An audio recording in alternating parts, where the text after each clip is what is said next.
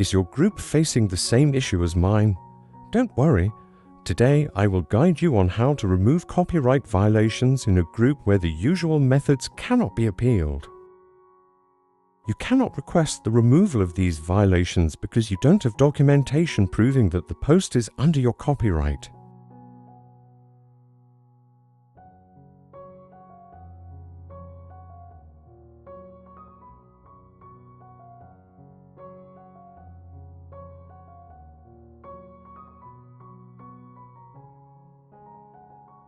Now, please visit the website on the screen to download the extension for requesting the removal of copyright violations in your group.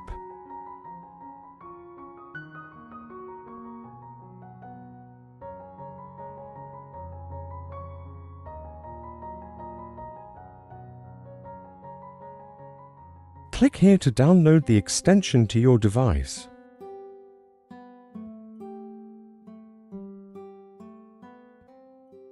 Typically, the extension will be downloaded to the downward arrow section at the top right corner of the screen. To find out which folder the extension was downloaded to, click on the folder icon to navigate to the location where the extension was just downloaded. To use the extension, you need to extract the downloaded file. Right-click on the file and select Extract here to unzip it. Now, Go back to the Chrome browser with the ad account that needs to be appealed. Click on the three dots at the top right corner of the screen, then select Extensions and choose Manage Extensions. To upload the extension to your browser, you need to enable developer mode as I am demonstrating. Next, just go back to the file you extracted earlier, drag and drop it into the Manage Extensions window to complete the process of uploading the extension. If that method doesn't work, you can select Load Unpacked and navigate to the location of the extracted file to manually upload the extension.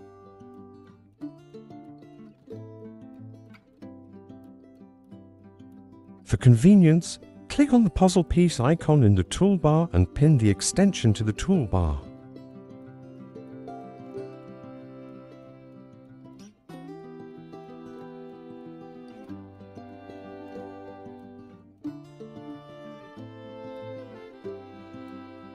This is the interface of the extension.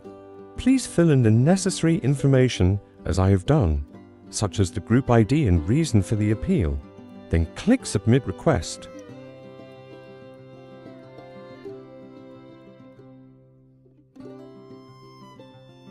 This is the reason for the appeal that I have used successfully. You can apply it to maximize your chances of success.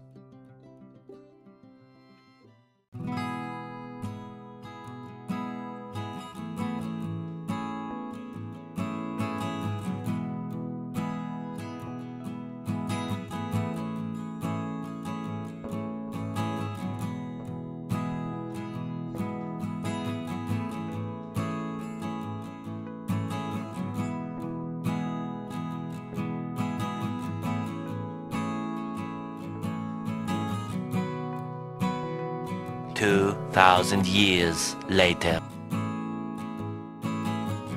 After a few minutes, the copyright violation removal request was approved and my group status was cleared, turning to green and safe. This is a loophole I accidentally discovered, so act quickly before Facebook fixes it. If you found this video interesting and the tool useful, Please support me by liking this video and subscribing to my channel. Stay tuned for more great extensions that I'll be introducing. Thank you.